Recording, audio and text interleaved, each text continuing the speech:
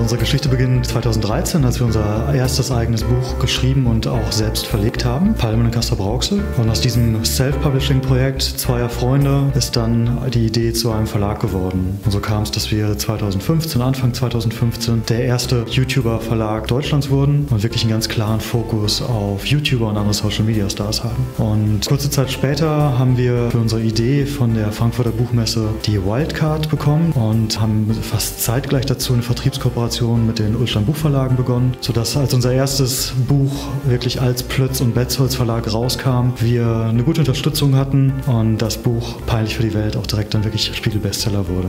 Wenn wir dann noch sehen, dass wir bei Lesungen, wo dann YouTuber ihr Buch vorstellen, wie geschehen mit Jonas Ems in Köln, dann plötzlich 400 kreischende Jugendliche vor einer Buchhandlung erleben, dann ist das im Prinzip der Lohn für die Arbeit, die wir nebenbei machen. Wir sind ja seit dem 1. Februar dieses Jahres Teil der Ulstein-Gruppe. Wie es dazu kam, ist eine ganz spannende Geschichte, denn das ist auch jetzt gerade erst ein Jahr her. Es kam so, dass ich mit der Lektorin von Econ zum Kickoff für mein eigenes Buch saß. In dem Buch geht es darum, wie man nebenher sein eigenes Ding macht und sein eigenes Business gründet. Und wir saßen beim Kickoff beieinander und ich habe ihr unser nächstes Buch, unser erstes richtiges YouTuber-Buch quasi in die Hand gedrückt. Ich habe gesagt, guck mal Silvi, das machen wir gerade. Und einen Tag später bekomme ich eine E-Mail. Sehr geehrter Herr Plötz, ich bin Ihre glückliche Verlegerin finde das spannend, was Sie da so tun und wir würden uns gerne mal unterhalten. Und das haben wir getan. Das hier ist das Buch, das Buch, äh, was den Aufschlag gegeben hat und äh, was auch seit fünf Monaten ununterbrochen auf der Wirtschaftsbuch-Bestsellerliste ist. Also es funktioniert.